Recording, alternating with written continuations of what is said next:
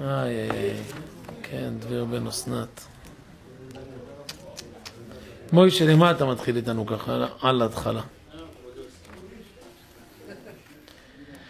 וישמע יתרו כהן מדיין חותן משה. מה הוא שמע מוישה?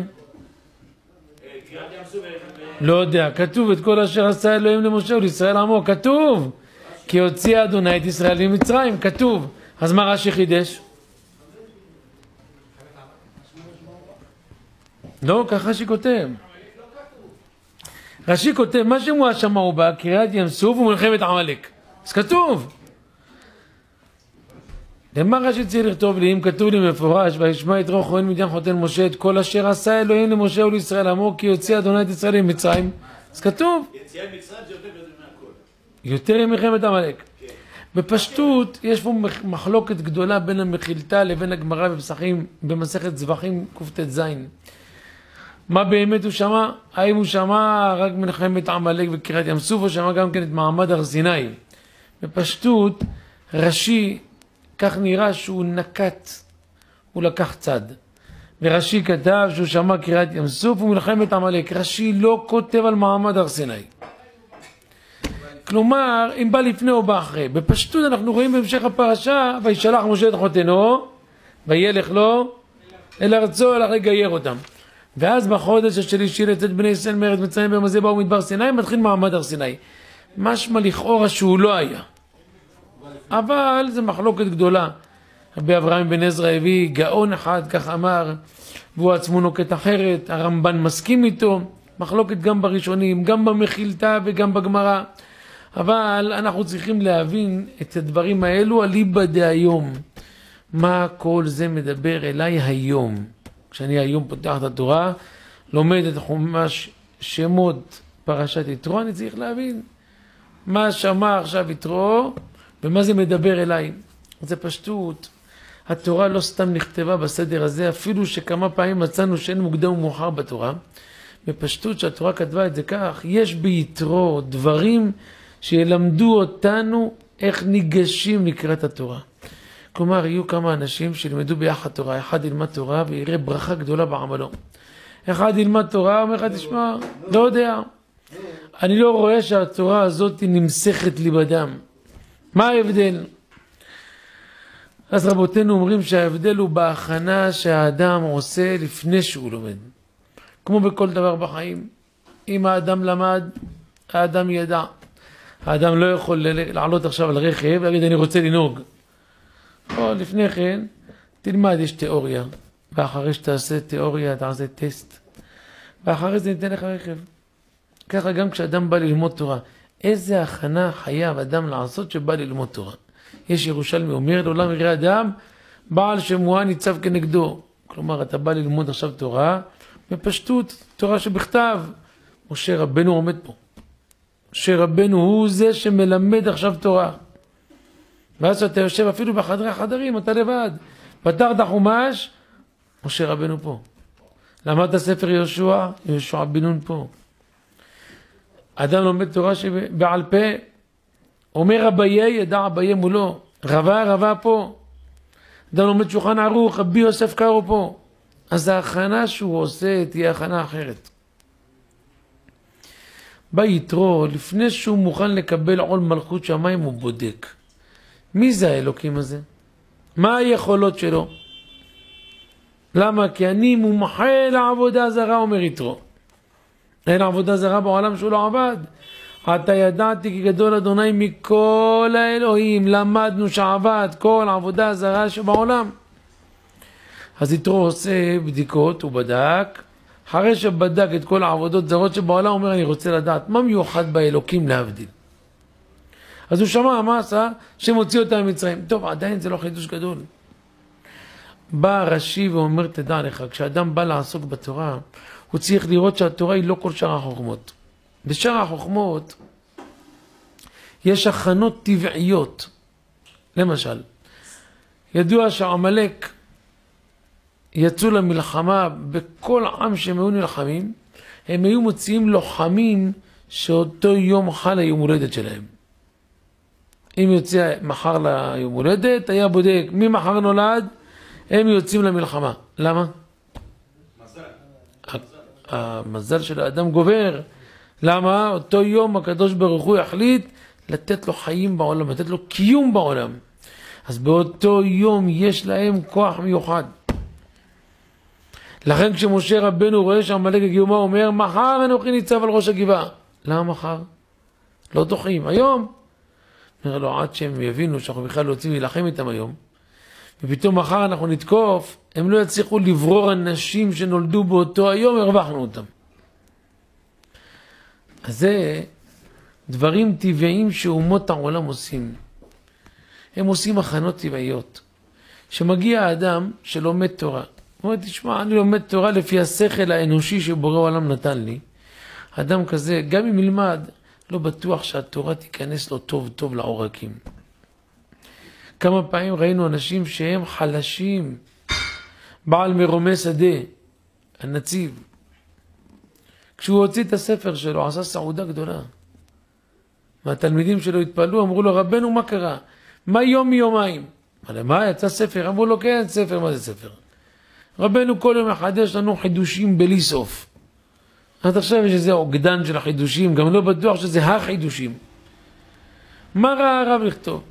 אז הוא סיפר להם שבצעירותו הוא היה קשה תפיסה, לא קולט. וההורים כבר כמעט התייאשו, זהו, רצו לשלוח אותו למחרת ללכת לעבוד. יהיה יהודי טוב, יעבוד, יתפלל שלוש תפילות ביום, אבל כנראה שהוא לא ניחן בקישור לתורה. אומר, ואני שמעתי אותם, ובכיתי בכיות גדולות, ולמחרת שאמרו לי, בוא, לך תהיה שוליה של אחד מבעלי המלאכה, הוא בכה, עוד צ'אנס אחד תנו לי. והלך אותו יום, והשקיע את כל כולו, והתפלל להשם שיפתח את ליבו בתורה, וזכה. אומר, לו יצויר שלא הייתי בוכה להשם, לו יצויר שלא הייתי אומר להורים שלי שזה מה שאני רוצה. היום הייתי בעל מלאכה טוב. אבל כשהייתי מגיע לשמיים אחרי 120 שנה, היו אומרים לי, בוא רגע, נפתלי, ספר הזה מרומי שדה, מי זה? אני לא יודע, אני לא... אצלי בעבודה זה לא היה. תגיד, אה, העמק שאלה של מי זה? אני לא יודע, לא... העמק דבר. ומי זה עמק דבר? אה, גם הוא, אז כמה היה לו? ברוך אתה אדוני אלוהינו מלך העולם שהכל נהיה בדברו. איפה על מה ישאלו אותנו? אז אני שואל מוישה, נגיע לשמיים, מה ישאלו אותנו? יראו לנו איזה ספרים, יגידו, זה כבודו היה צריך לחבר. אני? לא, יש פה איזה בלבול. מסתכל עוד פעם בכרטיס, בתור למשפט, אולי זה לא אני עכשיו. אולי מישהו אחר לפניי היה צריך להיכנס. לא, לא, אתה היית צריך. אה, יצחק? יצחק. אני אגיד ליצחק, בזכות יצחק עכשיו נזכרתי, אתה רואה? למה נזכרתי עכשיו? לפני שנכנסתי, הסתכלתי לראות, הלילה, פטירתו של בעל הריח ליצחק, לכן נזכרתי. ריח ליצחק, מי זה? האבא שלו. אבא שלו. אבא שלו היה מקובל גדול. הוא כותב בהקדמה התנצלות, הוא אומר, תראה, הכל זה, כל הספר הזה, דברים שעומדים ברומו של עולם. דברים שהם כבושים. אז הוא אומר, אם אני עכשיו אה, אגיד שאני מבין בדברים האלה, זה סתם יהיה גסות הרוח. ולהגיד עכשיו שאני לא אוציא אותם, אני לא יכול, כי אבא ביקש, תוציאו את הדברים. אז עשיתי עד איפה שאני יכול, ואם מצאתם טעות זה בי, לא באבא. הוא מוציא את הספר הזה, רובו ככולו דירושים על דרך הסוד, דברים גבוהים מאוד, הגאות על עץ חיים. יש שם גם דירושים אחרים. והוא אמר שיש לו קבלה מאבא שלו. פלא פלאות הדבר הזה. שבליל היורצייט שלו, הלילה, ומחר, מי שיגיד לעילוי נשמתו פתח אליהו, ויגיד בקשה אחת, הוא יהיה מליץ יושר עליו בשמים שהבקשה הזו בטוח תתקבל. אז זה חידוש גדול, לא? אז אני פעם אמרתי את זה, מישהו אמר לי, רגע, חכה, עכשיו אמרתי את כל פתח אליהו, יש לי עשר בקשות. אה, זה בקשה אחת. דבר אחד הוא אמר. אז יקרה עוד הפעם. בטח כבודו שייך לעדה מסוימת, שאין סוחרים טובים. ככה נראה לי. הוא לא מהעדה?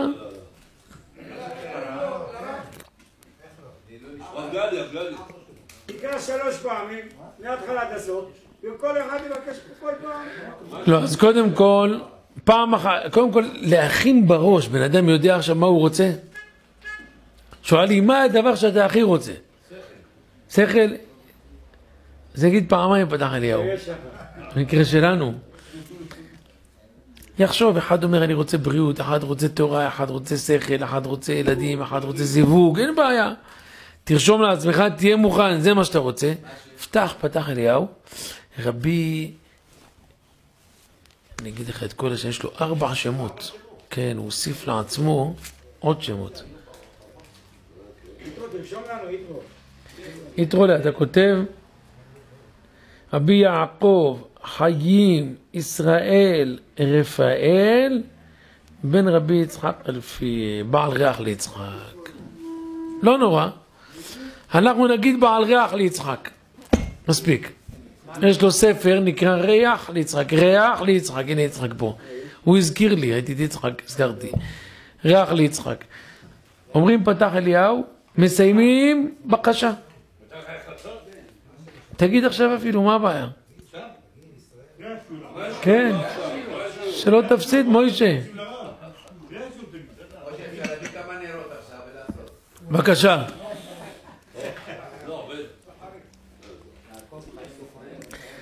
כן, אז הוא עליו השלום, כך קבלה. בנו אנחנו מכירים אותו, קונטרסי יחיילי. כל התענית דיבור שיש בעולם, הוא המציא אותה. ממנו הכל הגיע. אז זה קודם כל שהציבור לא יצא ככה חסר. הנה יש לנו רווח גדול.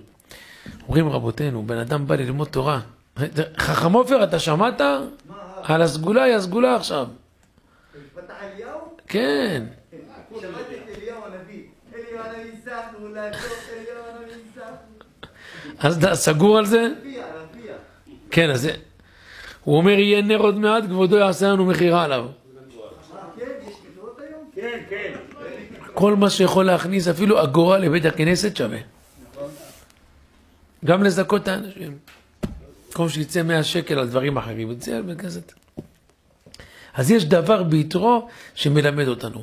יתרו ראה, אתה ידעתי גדול השם מכל האלוהים, כל האלוהים שיש בעולם, כולם זה בנתונים טבעיים. היופי אצל בורא עולם, שאדם שנולד בינוני ומטה, אדם נולד עם שכל חלש, אדם נולד בלי יכולות לתורה. ישב על התורה הזו, התחנן לפני מי שאמר והיה העולם, יזכה. זה מה שלימד מרומי השדה, מה הוא לימד? הוא אומר על עצמו, אני לא יכולתי בכלל להבין מה כתוב, לא ידעתי שום דבר. הייתי מגיע לשמיים, היו מראים לי, זה הספר הזה, מה היה צריך לחבר? מה הייתי אומר להם? וגם אצלנו זה כך. כל אחד מאיתנו, כך כתוב, שכשמשה רבנו מביא את עם ישראל, ויוצא משה את העם אל ההר, מה הוא עשה? הוציא אותם לקראת האלוהים. אז כתוב שהקדוש ברוך הוא עתיד לרדת על ההר, אז הוא אמר לו, הגבל את ההר סביב לאמור, ישמרו לכם עלות בהר ונגוע בקצהו, כל הנוגע בהר, מות יומת, לא תיגע בו יד, כל יסכל, לא ירוא ירא. מה קרה? אז כתוב ברבותינו שיש מחיצה. הקדוש ברוך הוא עשה מחיצה בין כל הדברים בעולם שהם חיים בצורה טבעית. אפילו השמיים שמיים להשם והארץ נתן לבני אדם, יש מחיצה מפסקת. בן אדם שבוקע את המחיצה הזאת, הוא יכול לעלות ולרדת כאוות נפשו.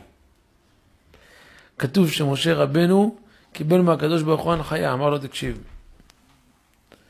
תחמתי תחום, השמיים שייכים לכל הנבדלים מהחומר, מלאכים, תרשישים, אלים, שרפים, חשמלים, אבל אנחנו, בני האדם, הארץ שלנו. ביום שאדם נפרד מהגוף, הנשמה עולה למעלה, הגוף נשאר פה. אין לחבר אותם ביחד. אבל כשתהיה מציאות כזאת, שיהיה בן אדם, שהקדוש ברוך הוא רואה שהוא ישתדל עד איפה שידו מגעת. הקדוש ברוך הוא מסיר לו את המחיצה ונותן לו אפשרות להתחבר לעולמות העליונים כבר בחיי חיותו. זה מה שמצאנו בגדולי עולם.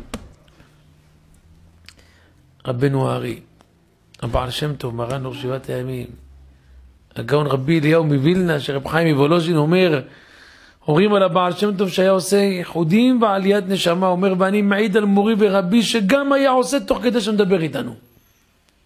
מדבר איתנו ועולה וחוזר ובא. איך עולים?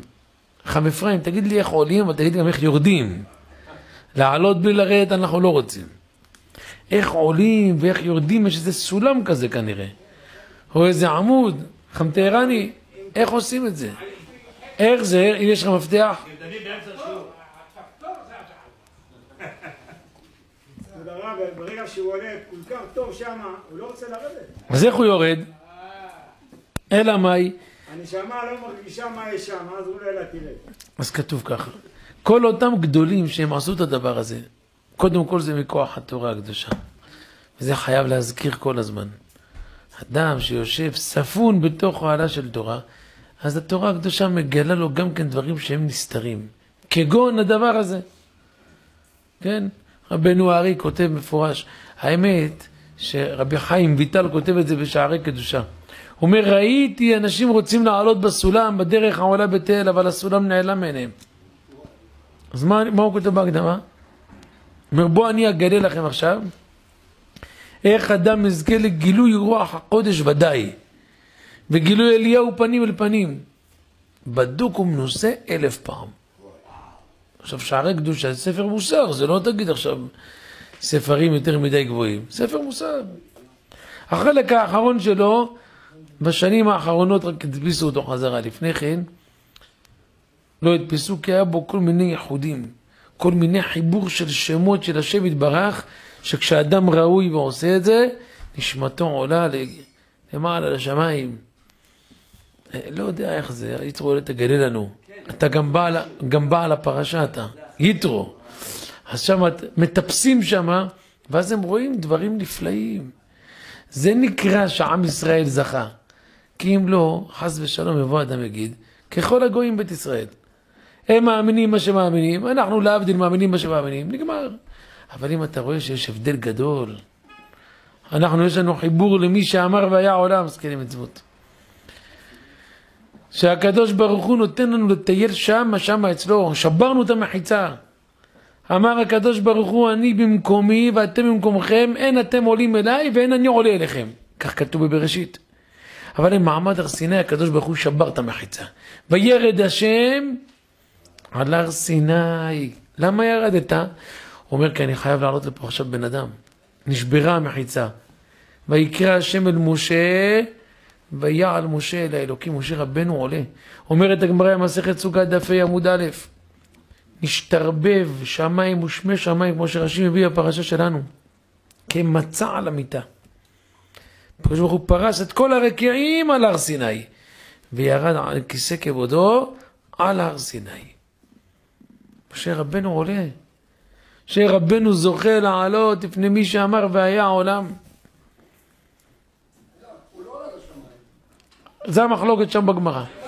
הגמרא אומרת, לא, הגמרא אומרת, יכול להיות שמשה עלה לשמיים?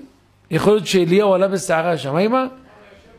אה, כן או לא? ואז הגמרא דנה באור שם, כל הגמרא שם מסכת סוכה דפי עמוד א', ואז הגמרא אומרת שמעולם לא ירדה שכינה למטה מעשרה טפחים.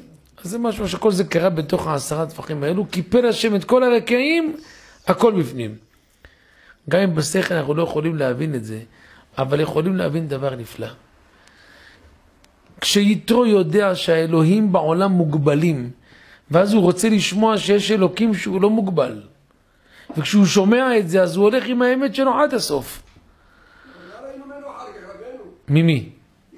כתוב שמבין... חזר למדיין, חזר בצורו. רש"י כל הטורקי נתנו ממנו. רש"י כותב בפרשה שלנו על וישלח משה את חותנו וילך לו אל ארצו לגייר את בני ביתו. אחרי זה בנביא כתוב שהבנים, הצאצאים של יתרו, היו שמעטים, תרעיתים, מה הכוונה? שהיו הולכים, כשהם הגיעו לארץ ישראל, אמרו להם בואו, נתנו לכם את דובשה של ארץ ישראל, קחו את יתרו עיר, הת- את אה, יריחו עיר התמרים. ואז הם באו ואמרו, אנחנו לא רוצים, יש לנו קבלה מסבא שלנו. לעזוב את כל המקומות הטובים, ללכת למדבר כדי לקבל תורה. אנחנו לא רוצים לא את יריחו ולא את התמרים ולא את הדבש. אנחנו רוצים להיות צפונים בבית המדרש. וזיכה אותם השם להיות מחכמי הסנהדרין. וזה למה הם זכו? כי היה להם איזה סבא, שזה מה שהוא לימד אותם. שכל הדברים שיהיו בעולם, כולם חולפים.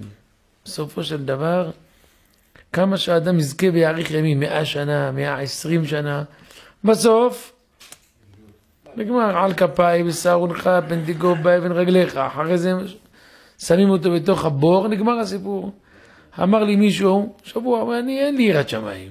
לא מפחד בכלום, כאילו, מבין שהשם יכול לעשות הכל, אבל תראה, הוא לא עושה, אז אני לא מפחד. טוב, בסדר. הוא לא עושה את זה במזיד, הוא פשוט לא מבין. הוא באמת מסכן. בסדר, ידע דורות. ואז היום בחסדי שמיים היה לנו תרנגולים בבית הכנסת. חכם עופר היה תרנגולים, חמישה תרנגולים. היה איזה תיקון. אז סוף התיקון כתוב לעשות תרנגול.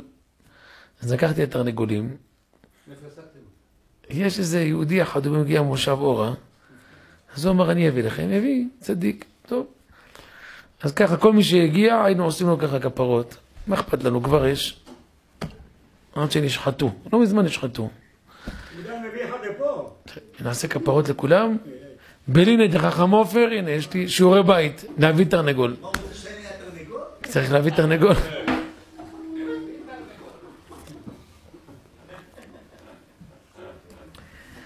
ואז קירבתי את זה, אותו אחד שנכנס, אמר, אני אין לי יראת שמיים. אז באתי עם התרנגול, ראיתי שכשעשיתי למישהו, הוא עבר כזה ככה, חצי.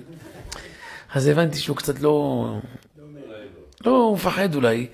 אז באתי עם התרנגול עד אליו, אז לו, בוא אני אעשה לך, לא, לא, תודה רבה. אמרתי לו, זה רק תרנגול, את הביצים שלו אתה אוכל, וגם כן אחרי ששוחטים אותו הוא טעים.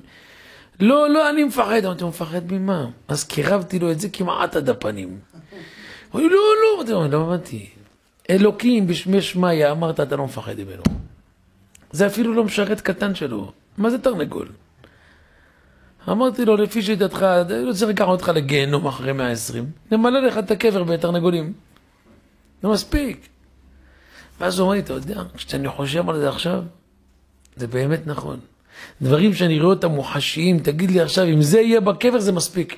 יש לי יראת שמיים פחד פחדים. אז אמרתי לו, בשביל זה אני חושב התורה מציירת לנו ציורים גדולים, והר סיני עשן כולו, מפני אשר ירד עליו השם באש. ויעל עשנו כעשן הכבשן ויחרה את כל העם אשר במחנה. מה זה כל התיאורים האלו? מה התורה באה לספר לי היסטוריה? אלא התורה אומרת, כך כותב הרב וולבה, לא אני אומר את זה. אומר הרב וולבה, אם אדם לא ידמיין בראש, לא יתאר בכוח הציור שיש לו את מעמד הר סיני, לא יחקק לו. ממש תיקח הר, אתה רואה הר, תעצום את העיניים, תדמיין שהראש שלו חתוך ויוצאת ממנו לבה עד השמיים, לא כתוב קצת לבה. אש עד למעלה. היעבץ, כך כותב, אומר ושמעתי שיש אבנים מהר סיני, שכששוברים אותם רואים דמות של סנה. עכשיו, יש, נכון? יופי. זאת אומרת, כמה שישברו אותו, יהיה. אומר, והגיע סוחר מארץ ישראל, ושאלתי אותו על זה. אמר, יש לי. הוציא לו. היעבץ התלהב מאוד. למה הוא התלהב? הוא אומר שהוא פגש תלמיד חכם אחד, היה הולך עם האבן הזאתי, והיה אומר, תראה, זה מחזק את האמונה בבורא עולם. לא שאנחנו צריכים את זה, אבל זה מחזק את האמונה. למה? כי כתוב ברבותינו שהאבנים כל כך הזדעזעו מהמעמד הנשגב, שזה נחקק פנימה. כמה שתשבור את האבן הזאת, הוא כותב עד אפילו אפונים קטנים. שבור אותם, תסתכל זוכרית מגדלת, עוד פעם מסנה. אומר לו, מה החידוש? אתה יודע מה החידוש? אמר לו, מה? אמר לו, כתוב בשמות רבה, פרשה ב', כתוב שמה, שאמר רב שמואל בר נחמן, רב נחמן בשם רב שמואל בר נחמן. ככה הוא אומר. הוא אומר, תדע שהסנה הזה, אין בו לא עלה אחד ולא שתיים ולא שלושה, אלא חמישה עלים. אומר היעבץ, תסתכל, הנה הדמות עם חמישה עלים.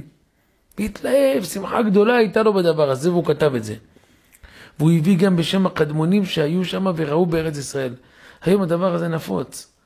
הרבה מקומות אתה יכול להגיע, אנשים באים, בוא תראה, הנה אבן שהייתה בהר סיני. האבן הזאת היא קדו- קדושה, נכון? מה אתה עושה לי ככה? כן או לא? מה? אני יכול לקחת את האבן הזאת עכשיו לזרוק על הערבים? אה, אה, לעצור עם זה את הדלת? אפשר? מותר? אני יכול ללכת להר הבית לקחת אבן? לא. אה, מה ההבדל בין הר הבית להר סיני? מה ההבדל, מוישה?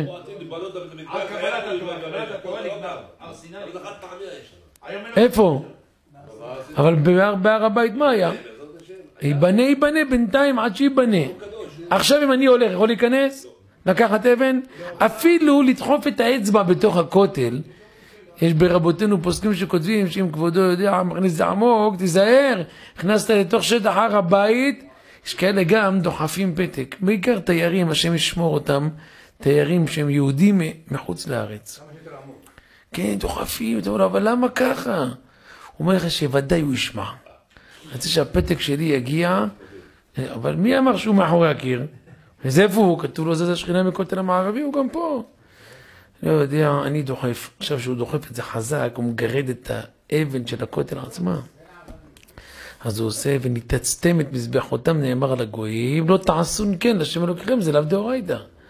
אדם צריך להיזהר, גם בתוך בית כנסת, אגב, הרבה טועים בזה מסכנים, בעיקר גבאים צעירים נמרצים, שיש להם ככה הרבה רצון לעשות את בית, בית השם מפואר ויפה, ולא נמלכים בזקנים, ואין שם רב שיגיד להם, הם באים, חופרי, תראה, מה אתה עושה? אומר, אני תולה פה עכשיו ונטילטור, תנור, מצוין. עשה חור, תולה, אומר, לא, לא, בעצם פה זה לא מתאים. מוציא. על החור הזה הוא צריך לתת דין וחשבון. כך כתוב, אפילו זה לשם שמיים. לפני שאתה בא לעשות את החור, תבדוק איפה באמת עושים את החור. על הסטנדר שהיה תקוע בקיר אצל בני אשכנז, דנו הפוסקים, מה ההיתר? איך הוא חופר בתוך הקיר הזה. על חלון שרצו לעשות חלון מבדיל. איך אנחנו נחפור את החלון בדיוק. כל דבר ששייך לבית כנסת, יש שכינה שורה במקום הזה. אדם צריך להיזהר. זה רק מקדש מעט, ויהי להם למקדש מעט, אלו בתי כנסיות ובתי מדרשות. קל וחומר, בית המקדש, בית קודש הקודשים. אז למה שם באמת אסור לנו לא לנטוץ, לא לעבור, לא להיות שם, לא לקחת אבן, מותר? מה, מה? אז אין שם קדושה היום, מותר, אז מותר. אה, זה... חכם אפרים רגע. שרבי יצחק לא יישאר עם טעות. הוא אומר כרגע מה הבעיה, יש שם מוסלמים שהם יעבירים מן העולם מהר. הוא אומר יש שם כל מיני נוצרים אולי שבאים שם, זה בא לכיפת הסלע וזה כל... זה נגד לך. הגמרא אומרת על הפסוק והשימותי את מקדשכם אף על פי ששוממים והשימותי לשון שממה בקדושתם עומדים. והשם יתברך אמר והיו עיניי וליבי שם כל הימים, כל הימים העיניים של הקדוש ברוך הוא שם. אפילו שעושים מה שעושים הגויים האלו הם כלום, אין להם שום אחיזה במציאות באמת. ילכו, יבואו, הם לא עושים כלום. אז אנחנו יודעים שהמקום הזה נתקדש. למה המקום הזה נתקדש בהר סיני? הקדוש ברוך הוא הזהיר באותו רגע, אבל אמר לו במשוך היובל המה יעלו בהר. מה הכוונה יתרו במשוך היובל למה יעלו בהר? מה הכוונה? שאחרי שתוקעים בשופר, מה יקרה? הקדוש ברוך הוא כביכול נסתלקה שכינה לעליונים, ההר הזה מותר לעלות עליו. למה? תראו דבר נפלא וזה קשור ליתרו. יש דבר שנקרא התערותא דלתתא, ויש דבר שנקרא התערותא דלעילא. מה הכוונה מוישה התערותא דלתתא? הכנה, לא, דלתתא מלמטה. כלומר ההכנה שאני עושה כדי לקבל דבר, משתדל, מתפלל, צם, מתחנן, פונה להשם, מתבודד, כל זה יוצר כלי, ההתעוררות הזאת היא מושכת מלמעלה אור, ויש אופציה ב'. אופציה ב' זה שאדם מסכן הוא בחושך שלו, והקדוש ברוך הוא מחליט עד מתי הוא יהיה בחושך. מה הוא עושה? הוא מאיר עליו. אה, הוא לא עשה שום דבר. יש לו זכות אבות, יש לו סבתא זקנה שהתפללה בנרות אולי לפני מאה שנה ועכשיו זה תפס. יש, אבל הוא לא עשה שום הכנה. מה יותר חזק? הערה שאתה מקבל מלמעלה בלי שעשית כלום, או עבודה שעבדת זמן זמנים, ואז קיבלת מהקדוש ברוך הוא מלמטה, מלמטה, כן? זה מה שקרה, זה ההבדל בין הר הבית לבין הר סיני. הר הבית הוא בהר המוריה, מי שחט שם את הבן שלו? אברהם אבינו. כתוב שאפרוץ אבור, כאילו שחט אותו.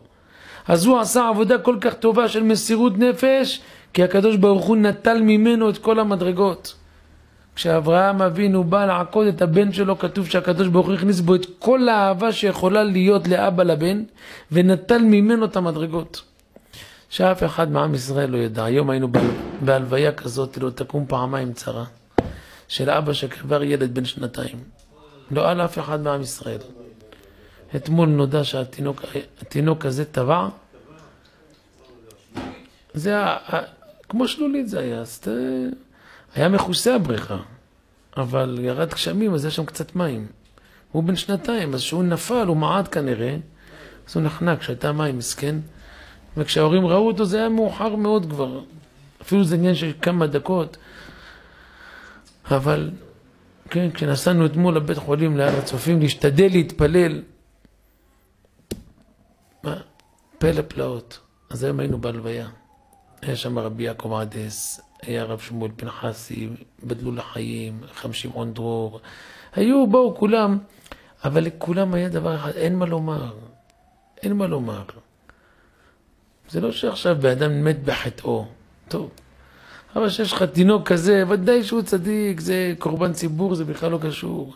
כשאתה רואה שהשם יתברך נוטל גדולי עולם, ואנחנו לא מתעוררים, הקדוש ברוך הוא רואה שאין, אנחנו לא מתעוררים, אז חס ושלום תינוקות של בית רבן, כך כתוב. לא מוצא גדולי דור, לוקח תינוקות של בית רבן. זה זה, השבוע הזה. לא שמעתי. כן, לדוד. וואי וואי וואי. שנים לדוד.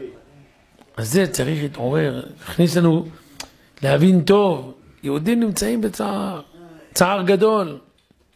אין דבר יותר גדול מזה שאבא מקריב את הבן שלו על המזבח לכבוד השם.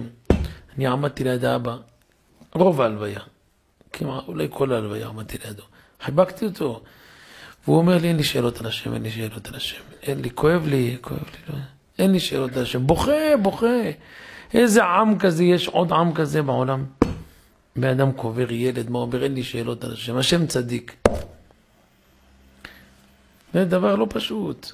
בא הקדוש ברוך הוא נותן לאברהם ניסיון שאין כדוגמתו, תקריב את הבן שלך פה. מקריב, עקדת יצחק. אותו מקום שנברא האדם הראשון, אותו מקום שהקריב קורבן להשם, אותו מקום שנוח הקריב, אותו מקום שאברהם אבינו הקריב, הוא המקום שעם ישראל מתנדבים לבית המקדש ובסוף בונים שם את בית העולמים. אומר הקדוש ברוך הוא, כשבשר ודם עושים, זה מתקדש קודש קודשים. כשאני עושה, החלטתי שאני יורד על הר סיני. אין בעיה. כיוון שזה בא בהתערותא דלעילא, השם יתברך, הוא החליט. הר סיני כשלעצמו לא עשה שום הכנה. אז הר סיני, בזמן שהשם יתברך נמצא שם, קודש קודשים, הר האלוהים. אבל איך שהקדוש ברוך הוא מסתלק, אפשר לרדת לסיני ולהשם שם נרגילה. שומע? עוד לא נקרא שהוא מחלל כלום. יצחק, אני באמת אומר לך. אפשר. רק שיהיה לך את ההיתרים המיוחדים לצאת מהארץ, זה לא כזה פשוט. כן, תעבור דרך חכם עופר, הוא יאשר לך, יחתום לך על האישור. יצחק רוצה לצאת מהארץ, תעשן. בבקשה. אין, אתה יודע, ככה אי אפשר לצאת סתם. אבל אחרי שתגיע, נניח שקיבלת אישור, מותר. שאפשר מה, באותו מקום שהשם שרה, בסדר גמור. אבל פה, למה אסור? מה יעשו אלו שנקראים נאמני הר הבית? צריכים להסביר להם שזה טעות. צריך להסביר להם. אני אגיד לך, לפני הרבה שנים, היו צריכים להיכנס כוח של אה, חיילים שלנו, פנימה. למה היו הגויים לוקחים אבנים וזורקים אותם על המתפללים. בעיקר בחול המועד ידעו שיש דבר כזה שנקרא ברכת כהנים. אז הם זורקים ככה כדי לפגוע. לא משנה שגם לזרוק אבנים הם לא יודעים, ברוך הוא ברוך שמו. אז זה לא, שם יש בעיה עושה ניסים גדולים. אבל היו צריכים להכניס כוח לשם. הלכו לגאון הרב נבנצל. אתה יודע מי זה? אה, בעיה עתיקה, בדיוק, חזק וברוך. היה חברותא של הגאון רב שלמה זלמן. אוירבך, כן, עד 120 בטח. הוא קצת נזהר, בגלל הקורונה עכשיו קצת יותר, אבל בלי עין הרע. ירושלים במועדיה, כל הכרכים, מי שמכיר, זה שלו, שיחות שלו. אז נכנסו אליו, אמרו לו, רוצים להכניס כוח. ויש בתוך הכוח הזה חיילים שהם דתיים. תראה כמה עם ישראל קדוש. אתה בא ואומר, חבר'ה, צריכים להיכנס להר הבית. אמרו, טוב, להציל את היהודים, אנחנו מוכנים. ואז אחד חייל דתי אמר, חבר'ה, אבל דעו לכם, בפנים אסור להיות. אמרו לו, רגע, למה אסור? אמר להם, פה היה בית המקדש. המפקד מסתכל עליו, אמר לו, מה אתה עושה עכשיו? אמר לו, תקשיב רגע, באמת אסור. הנה, נתקשר לרב, התקשר לרב. הרב אמר לו, ייכנסו דרוזים, צ'רקסים, בדואים, אם צריך בכוח עוד אנשים, תדברו איתי. למה? באמת גויים עדיף שייכנסו. בדקו, היה צריך עוד אנשים. אז דיברנו עם רבי יעקב אדיס, אמר מעל השירותים של הכולל, של הכותל, חוץ מהכבוד, יש שם נוחיות, מעליו יש מקווה. אמר, המקווה הזה, זה בשביל החיילים. כן, ליד המחכמה. המחכמה זה הבסיס שלהם. לידו, כן, זה לא אותה כניסה. כניסה למחכמה, היא... נכון, היא בפנים. אבל הכניסה למקווה זה משאפה נוחיות. שמאלה לנוחיות יש מדרגות. ימינה ושמאלה עולים למקווה. אני הייתי שם, ראיתי אותו. אומר, יטבלו, יורידו כל דבר שמקבל טומאה, אפילו החגורה של הנשק. וייכנסו פנימה, ובעזרת השם, אין עליהם שום עוון. עם נשק בלי הרצועה. עם נשק חייב אותו, אבל בלי הרצועה. וכשהם הלכו, נכנסו לרב נבנצל, הוא שרטט על דף. ככה, שרטט, אמר להם כאן, כל זה, לרוב הפוסקים אתם יכולים לעמוד פה, פה, פה, פה, ככה סימן את הכל. גאון גדול. אז כמה מחסניות אפשר לקחת? כמה שיותר, אם זה, אם יש, אם יש, אם יש אישור פתיחה באש, לוקחים צולבת. זה מחובר. אבל אני עשיתי אגב, אגב בכותל, אל את זה. הוא היה מהפורצים לדרך. הר הבית בידינו. פעם אחת עשיתי מילואים אגב בכותל. פעם אחת. פעם אחת. פעם אחת, וגם אמרו לי תודה רבה, זה. יותר מדי. מאז תראה איזה אור יש. ברוך השם. טוב שחזרת לשלום, השתבח שמו בורא עולם. כבוד הרב, מה קורה אחרי שהשתלם אני זוכר? לא ידעו, אנשים נכנסו ונכנסו אלפים. זה לא ידעו, שאסור. עכשיו אנחנו יודעים, אסור, מה... מה- נכון. קודם כל, יש דבר כזה בשמיים, צריך לדעת, שיש דבר כזה שנקרא גם כף זכות. צריך לדעת את זה. הרבה פעמים, לא מזמן אמרתי למישהו, תגיד לי מה, אמר לי, עזוב, אני אומר לך, השם גומר אותי. אמרתי לו, למה ככה אתה אומר? התחיל לספר לי איזה עוונות הוא עשה, זה שמעתי, בסדר.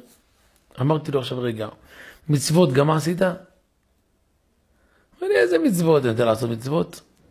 עוד אנחנו מדברים, הוא קיבל טלפון מאמא שלו, הוא אומר לי, סליחה רגע, זה אמא. שלום אמא, מה נשמע? הכל בסדר? כן, אני בסדר. אכלתי, כן. תודה רבה אמא, השם ישמור אותך. את אכלת? כן. בטח שאני דואג לך, איזה שאלה, את אמא שלי, כן, השם ישמור אותך, להתראות בה. אמרתי לו, מה זה?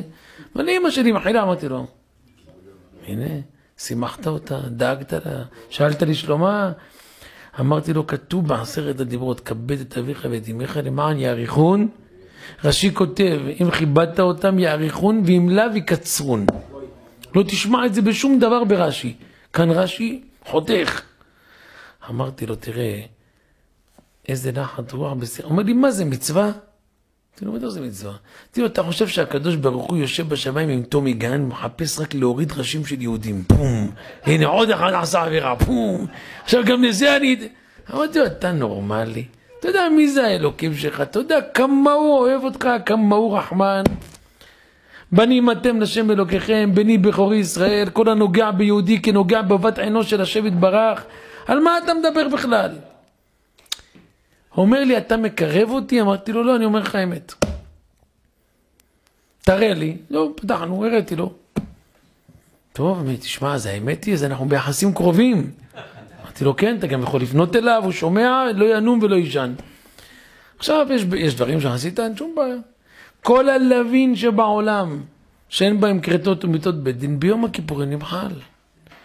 גם כשבן אדם עשה דבר כזה ויש כרת, אבל הוא יודע שהוא לא עשה את זה. למה הלכת להר הבית? אז הוא אומר לך, היית... או, אומר ההתרגשות שהייתה לי, הבכי שהיה לי. אה, עכשיו השם יתברר בוחן לי פה תוכניות. הוא רואה, מה הוא רואה? שמה רצה להיכנס להר הבית כדי לעשות כרת? חס ושלום. הוא רואה את ההתלהבות, את ההתרגשות, את הבכיות, שמתגעגעים, רוצים כבר בית מקדש, מה אנחנו רוצים? אה, הנה, אני אומר לך, קניונים סגורים, ועם ישראל חי. הכל בסדר, מסתדרים טוב בלי. לא ראיתי אחד, הנה אני מוכן גם פה, אני אעשה לכם ג'סטה, אני אשאל גם אתכם. שאלתי מקום, אני אשאל גם אתכם. לא לשקר, מי שעשה שיגיד. לא אכפת לי, אני אשמח. תגיד לי מי 168 שעות שבועיות עברו משבוע שעבר בשעה הזאת בתשע, שנפגשנו. חם טהרני לא ראיתי אותו, אבל חוץ ממנו אני חושב שראיתי. העיקר בריא אולם. עבר 168 שעות, תגידו לי מי עשה פה פעם אחת תפילה, רבע שעה מכל הלב, לפחות כמו תיקון חצות להבדיל, שיפתחו הקניונים. לא לשבת על הרצפה, לא, הוא לא ישב על הרצפה, אפילו על הספסל. הם התפללו שלא ייפתח. לא, לא, מי, אני רוצה לדעת, באמת אבל מי? לא היה? אנשים פה לא היו בקניון. הבנת מוישה? כמה עם ישראל צדיקים יושבים חצות לילה על הרצפה, בוכים דמעות, אבא אנחנו רוצים בית מקדש. זכור השם היה לנו הביט הורד חרפתנו, נכון? אז הם בוכים, למה? רוצים בית מקדש. מה עם הקניון? מה עם הקניון? הכל בסדר, לא אכפת לי מה הקניון. יהיה, לא יהיה. כלומר, חכם אפרים, שיהודים ראית אותם עולים להר הבית, מהגעגוע שלהם. הם באמת מתגעגעים, לא משחק. אמר לי מישהו ביום העצמאות, הייתי ביום שכולו תורה בכמה מקומות בחסדי השם. אז הגעתי לאיזה מקום, איך שבאתי לאיזה בית כנסת היה אחד, הוא היה ככה, הוא רצה לעקוץ. לא אותנו, השם ישמור אותו. כאילו לומר, הנה, תראה, תראה את עם ישראל, איך הם... תראה, יום העצמות, הם עושים העיקר על האש. אז הסתכלתי, אמרתי לו, יקירי, אתה יודע, הם כל כך מתגעגעים לבית המקדש. הריח הזה משגע אותם. הם מתגעגעים, רוצים כבר לעשות ראשו על קרעה ועל קרבו. הוא אומר לי, דו, זה חילונים. אמרתי לו, אז מה?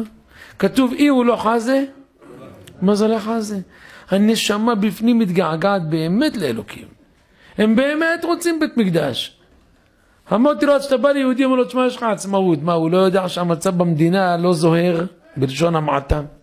הוא לא יודע שהמצב לא פשוט? אבל אם אתה אומר לו בתוך הנפש, תשמע, עצמאות אמיתית, זה שיהיה לך בית מקדש. אז הוא נזכר. אז הוא עושה חציו להשם, חציו לכם. חצי בית המדרש ושוקלו תורה, חצי הוא עושה גם מנגל. לא אכפת. זה חג, נכון? בטח. הוא לא אכפת לו, אומר, אבל למה על האש? גבינות? או, הרב. עכשיו מגיע, הוא רוצה גם סיפור. אבל אתה זוכר את הסיפורים? כן, שבוע שעבר, במקרה נזכרתי, לא, מה היה הסיפור? הנה. אני יכול ככה לעבוד? סיפרתי בערב שבת. הרב, אני כל כך שומע סיפורים. אבל אתה זוכר? ואתה אומר שלא תשנה פרטים. סיפור, לא אבל אמרת? על מה? אם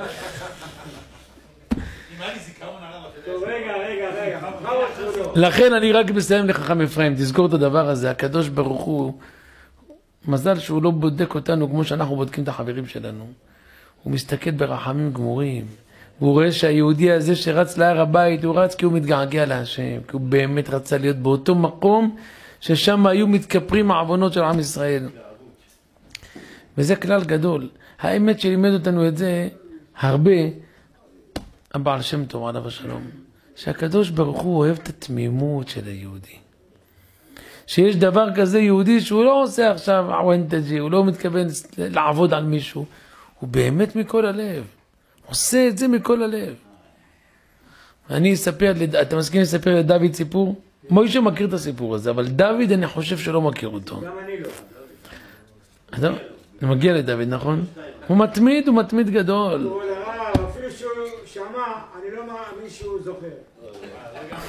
בבקשה, בגלל העומס של התורה.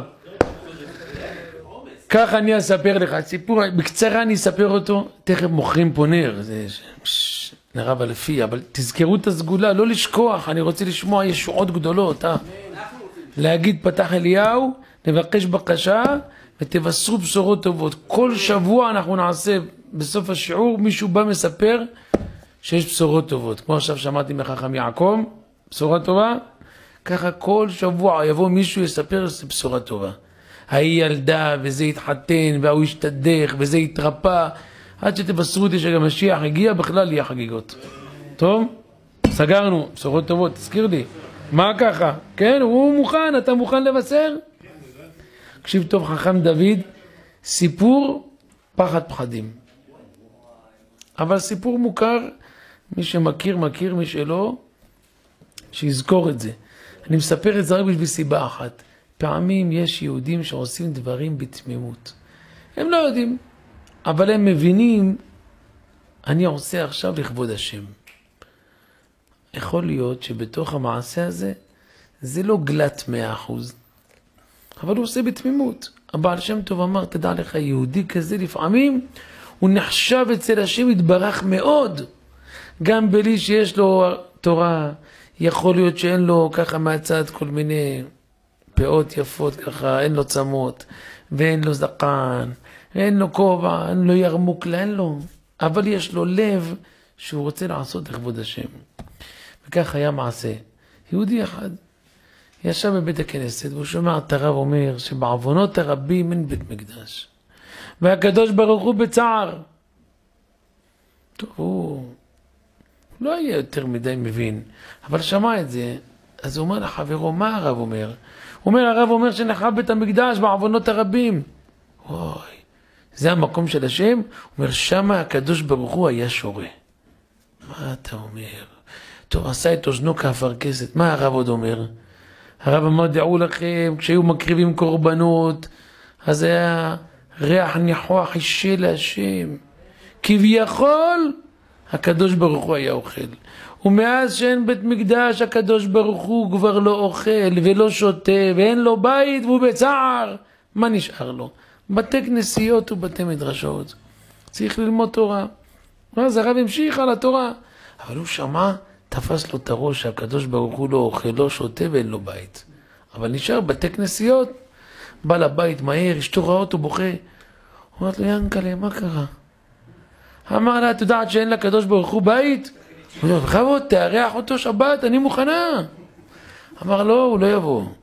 הוא הולך או שמה, בירושלים, הם היו גרים בצפת, או בתי כנסיות. פש, איפה הוא בבית כנסת? אמר לה, אני לא יודע, לא שמעתי כל כך טוב את הרב. נראה לי איפה הספר תורה, אבל. אומרת לו, ינקלה, אתה יודע מה? אני אכין עוד חלה אחת השבת, תביא לו.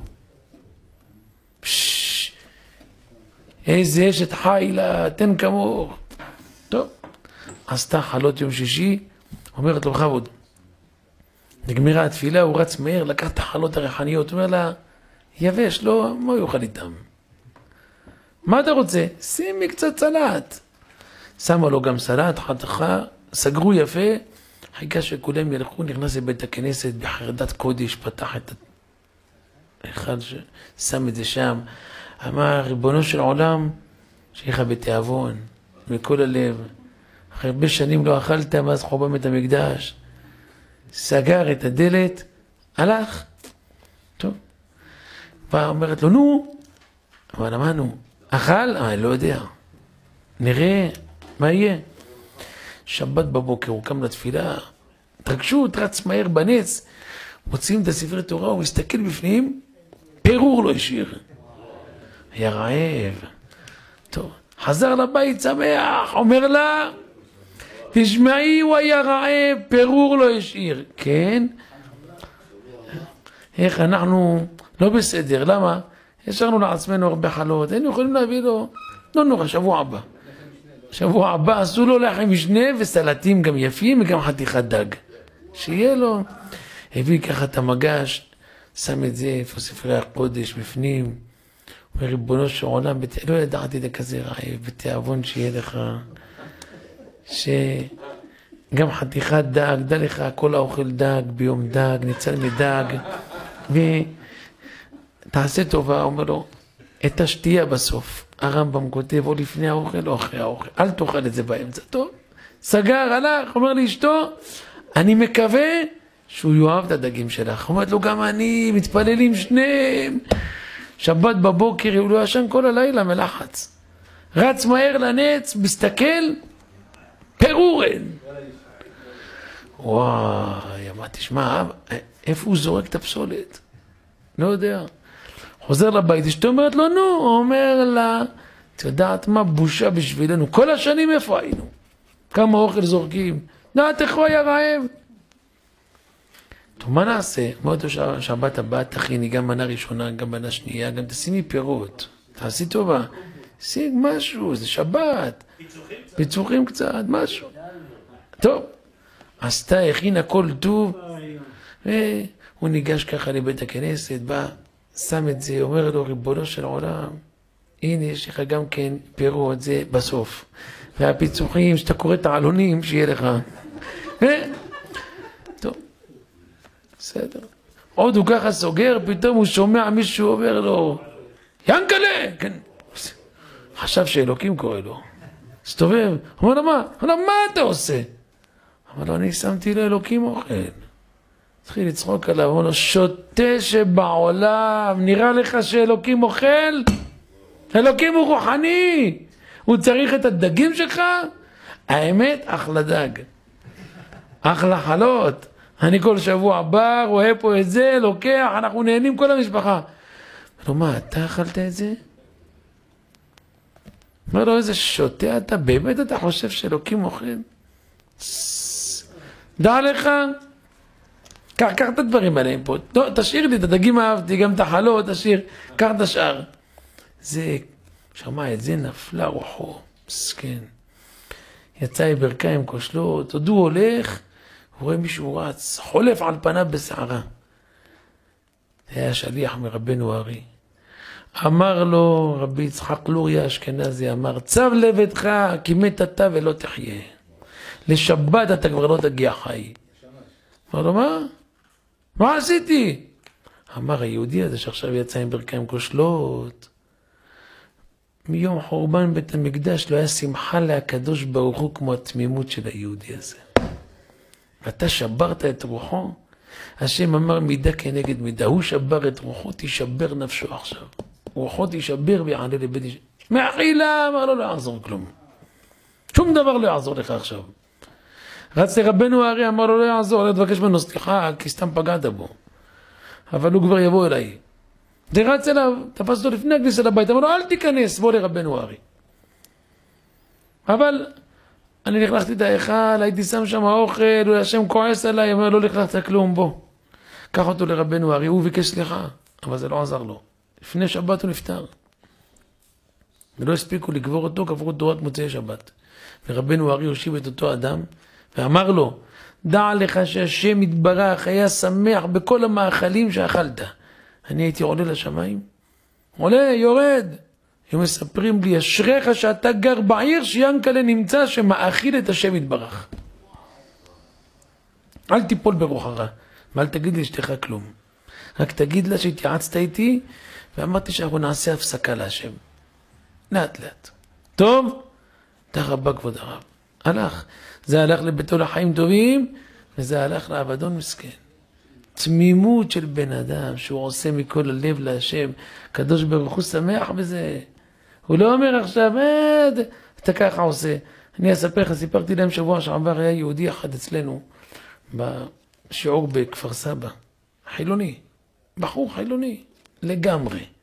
לא עליכם, לא על אף אחד מעם ישראל, הוא היה עובד בתוך מועדון, בר, הוא היה ברמן, הוא מגיש את המשקאות. הוא התחיל להגיע לשיעורים, פעם בשבוע. מצד שני, יש לו עבודה כזו מפוקפקת. אמצע השבוע הוא עובד, מחייבים אותו לעבוד גם שבת. אז הוא אמר לי, הרב, אני יודע שאסור לעבוד שבת, אבל מה אני אעשה? אין לי עבודה אחרת, ואני משכיר דירה, ואין לי כסף, ועכשיו אני התחלתי לשמור, אני לא יודע מה לעשות, ו... לא יודע. טוב, לאט לאט, לאט לאט, לאט לאט, בהרבה הרבה תפילות. אז הוא פתאום מבין שזה גם לא טוב הקשר הזה שאנשים באים למועדונים לגוע בבנות ישראל סתם. אז מה הוא עשה? הוא היה יושב שם בבר, זה הוא סיפר לי. יושב שם, היו נכנסות בנות לא צנועות. יושבות שם זמינות שתייה. היא יושבת, אומר לה, תקשיבי, השתייה הזו על חשבונים, תקשיבי מה שיש לי להגיד. אומרת לו, בבקשה. אמר לה, למה את באה לפה? את לא יודעת שאנשים שפה זה לא אנשים שהם חתנים פוטנציאליים. הם לא ירצו להתחתן איתך, הם יפגעו בך ויזרקו אותך. וואי וואי, היית בהלם. איך אתה, מה אתה? אמר לה, את יודעת את זה, אז למה? אז מה אני אעשה? אמר לה, עזבי אותך, אין לך מה לעשות פה. היה אומר לי, אחד תחליף אותי, מעלה אותה לרכב, נוסע שבת. נוסע ליל שבת, מחזיר אותה לבית, חוזר חזרה. עוד אחד מגיע, גם איתה. היה מרוקן הבר. אומר לי, אני בליל שבת נסעתי אולי מאה פעם. כל פעם כדי שלא ייגעו בבנות האלו. אומר לי, אתה חושב שאני לא יודע? מחלל שבת בפרהסיה, דיני כגוי לכל דבריי, היין שלי נסך, ככה מישהו הלעיט אותו חזק, הוא... אבל אז הוא היה בוכה לי ואומר, אם באמת בנות ישראל יקרות להשם, אני לא אתן שיפגעו בהם. לא אלאה אתכם בפרטים. היום היהודי הזה, אתמול הוא יצא רב חיים קניבסקי, אחרי שהוא כבר כמעט חצי שנה בישיבה קדושה. לא יודע איך השם יתברך הוציא אותו מההפכה, הוא יושב בישיבה. יושב לומד שלושה סדרים, פלא פלאות, היה לו מלחמה עם ההורים שלו, אף אחד לא האמין שהוא יהיה שם. לפעמים יהודי עושה דברים בתמימות, השם יתברך לוקח את התמימות שלו, עושה מזה אור גדול בשמי שמיא. יתרו היה לו את הדבר הזה, הולך עם האמת שלו עד הסוף. גיליתי שעבודה זרה זה שקר, אני הולך עם האמת והתמימות. השם אמר, אתה תהיה זה שיזכה להיות חמיב של משה רבנו. איש האלוקים. חכם עופר בכבוד, לפני שייכנס הרב, בכבוד. כי וירבו ימיך ויוסיפו לך שנות חיים.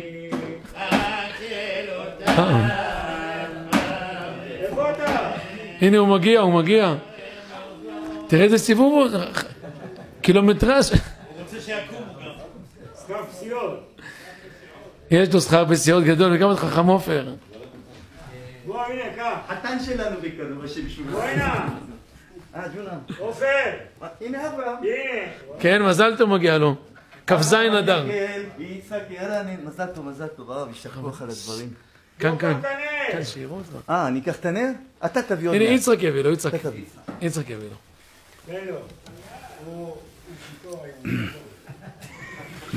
ברשות מורנו ורבנו, שם ישמעו וחייהו לאורך ימים שנות חיים טובים. לשמוע סיפור כזה זה פשוט, אם לא הייתי מתבייש הייתי מוריד דמעות, אבל לא הפעם. איך מספרים את הסיפור, נכנס ללב. אבל מה, שהרב אמר על שני האנשים האלה, זה מופיע בפרשת שבוע, הרב. נכון, יש לנו עשרת הדיברות. אתם יודעים, עשרת הדיברות, אני לא יודע אם מישהו, יודע פה את כל עשרת הדיברות. יש פה מישהו שיודע את כל עשרת, בלי להסתכל פה למעלה. אבל מה, אם מישהו סיים את, ה, את, ה, את העמידה מוקדם, והוא רוצה ספר מוסר חי, שיסתכל ויראה, זה ספר מוסר כל עשרת הדיברות. יחשוב על כל דיברה ודיברה אחרי התפילת העמידה, רק יחשוב, יש לו ספר מוסר, מלא מופת. טוב, אז אה, סוף פרשת השבוע, על מה שהרב דיבר, וזה מה שהרב מלמד אותנו, וזה הרב עצמו. ולא תעלה במעלות על מזבחי. למה? וואי, המעלות האלה, אה, שמא תגלה ערוותך עליו. מה זה? זה מדרגות. ברוך הבא. ומה, ומה, רבנו, שאו שערים לשכם ונסו פתחי עולם. אה, עוד לא מחר. אז נמכור את הנר, אבל נגיד משהו על זה. המעלות. זה, זה עיקר הפרשה, זה הפסוק האחרון. עשרת הדיברות זה גם עיקר, אבל עיקר הפרשה זה הפסוק האחרון. ולא אני אומר את זה, אומרים זה גדולי עולם. למי שאין את הפסוק האחרון, שרואה את האדם, שהוא בדמות יוצרו, כל שכן בקל וחומר, אם על מעלות בורא עולם הקפיד שיהיה כבש למזבח ולא מדרגות, אז כל שכן האדם שהוא בדמות יוצרך, וזה מה שהרב מלמד אותנו, על כל אדם ואדם לא לפגוע, הוא ראה את ה... תן אוכל, תגיד לו איזה מילה טובה. טוב, השם יזכנו. ועוד משהו על תפוחים הרב, אפשר להגיד, מה- זה, זה גם סגולה הרב. עם סגולה. ידוע שבשבת קודש לוקחים שני תפוחים אדומים, שמים על שולחן, אחד מהם אה, פורסים אותו לשניים ומחלקים אחד לרבנית ואחד לאיש, ואת השאר בקרוב אצל, אצל מורנו רבנו עטרת ראשנו אצל הילדים, בעזרת השם בקרוב. וכתוב, ראיתי פעם בשם, הוא נפטר בי"א אייר, אה, רבי נפתלי מרופשיץ. הוא כותב שמה שעל כל תפוח שבעולם תפתח אותו לשתיים, אתה תראה עשר נקודות מסביב. כל תפוח שבעולם, לא לאורך, לרוחב. עשר נקודות מסביב, בדיוק, כל תפוח. ולמה? שעל הר סיני גדלו תפוחים, כך אומר את זה הרב שיצר, ויש מצווה לאכול את התפוח, וכל מי שאוכל תפוח בערב, בערב שבת קודש, דווקא שיהיה אדום, שניים על השולחן, סגולה לפרנסה. סגולה לפרנסה גדולה זה... אה? כן. את התפוחים הכי טובים של הפינק ליידי הגדולים האלה, של 16 שקל, לא פחות. דווקא אדום כתוב. זה טוב. נר לכבוד רבי יצחק אלפיה, זכר צדיק וקדוש לברכה, בעל פתח מליהו. אה, בעל הסגולה של פתיחת אליהו, כמו שהרב פה הסביר, עוד פעם הרב, נראה אם אני זוכר בעל פה, לקרוא את פתיחת אליהו, לשים צדקה, להדליק נר ולבקש בקשה. זה לא מה שאמרתי. אני... מאה ואחד. מאה וחמישים. סיועים, סיועים. יש סיועים גם, אבל מתחילים 150 פעם ראשונה. 20 סיוע, יישר כוח. רבותיי, הסיועים זה גם של פתיחת אליהו וגם פתיחת הלב וגם פתיחת המזל. פה במקום הזה, אתם יודעים, יש את הרב, את הרב אה, ידידנו, רבי דוד, שהשיעורים שלו נמשכים על ידי ההוזלה מכיסנו. אז גם אנחנו אה, 20 סיוע בעזרת השם.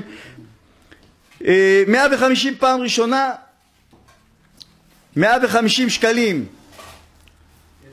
פעם שנייה, 150 שקלים,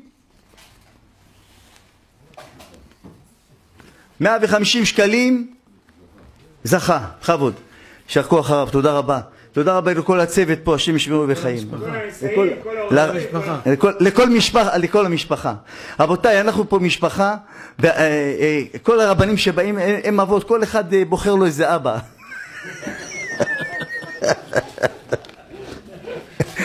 אבל, אבל כולם האבות הרוחניים שלנו. יהי שם אדוני ברמת עבד עולם שברך אבותינו הקדושים הטוב אברהם מצב יעקב משה ואהרון יוסף דוד שמובך את השם הטוב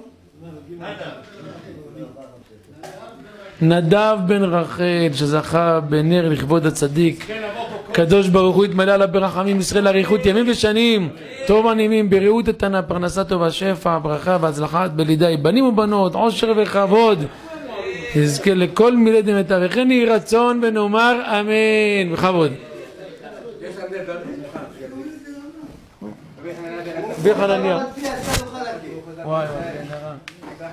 תורה ומצוות שנאמר.